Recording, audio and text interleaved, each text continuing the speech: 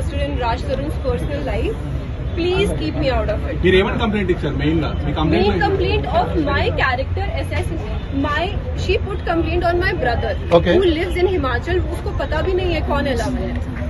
उस she calls my brother all the time. We have given all the screenshots of the calls, text, and messages she has done to my family. So uh, allegation she put that my brother threatened her, I threatened her, it's all false. Rather, she tortured me. But she released some audio. So...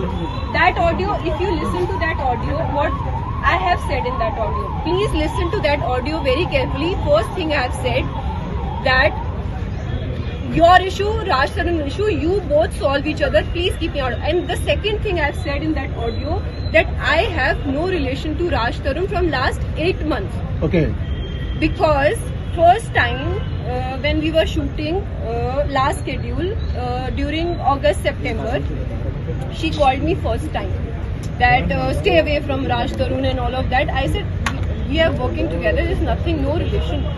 Then she's like, don't uh, talk to Raj Tarun and all. I told Raj Tarun that you know this girl Lavanya is calling me and.